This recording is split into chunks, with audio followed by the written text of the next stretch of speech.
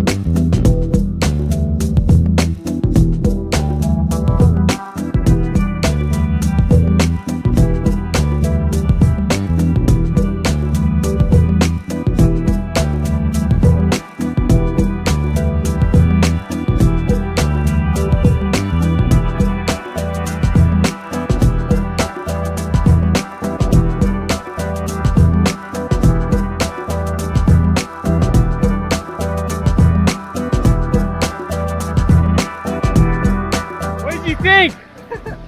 That was the hardest opening ever. I saw that. So did you have fun? It was fun. Would you do it again? Softer landing. Yeah, yeah. Yeah. But yeah, I'd recommend it. It All right, dude. High five. Welcome to the addiction. Thanks for coming out to Skydive, Tennessee, brother.